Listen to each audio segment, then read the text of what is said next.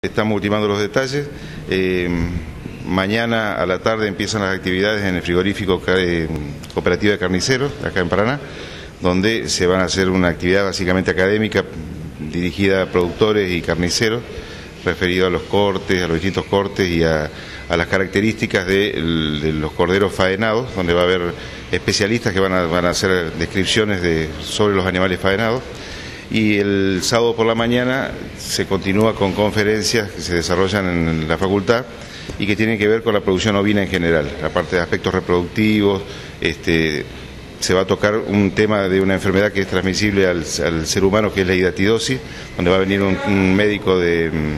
Corrientes, que va a dar una charla, y aparte también algunos profesionales de acá de la provincia que van a hacer el análisis de lo que pasa con esta enfermedad en Entre Ríos. Y específicamente el asado, ¿dónde va a ser y cuántos corderos van a, van a ser? Están previstos más de 200 corderos. Eh,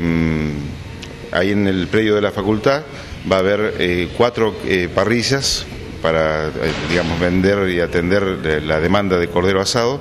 y aparte está prevista tres cantinas de comida donde se van a dar distintos platos de comida, eh, de, todas referidas al cordero, todas hechas con cordero. cuánto va a estar el kilo? El kilo de cordero asado a 70 pesos, los platos tienen un precio diferencial que va a estar entre 20 y 25 pesos, eh, y bueno, también va... La entrada es de 10 pesos, entrada general, 5 pesos la entrada para menores, 5 pesos del estacionamiento, estamos previendo un lugar para estacionamiento. Coordinar ese tema, eh, van a participar en el concurso 14 equipos, es decir, todos con integrantes de dos de los cuatro estamentos que pertenecen a la facultad, es decir, pueden ser alumnos, son docentes, personal administrativo o graduados. El concurso arranca a las 3 de la tarde y van a estar supervisados, por supuesto, y controlados por un jurado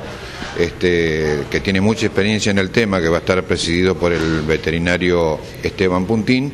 Y bueno, ellos van a trabajar fundamentalmente el jurado en, el tema vestimenta, en el, en el, equipo, en lo que es el manejo de los utensilios, la estrategia para asar, el, el tema de punto de cocción, de la uniformidad de cocción y la presentación.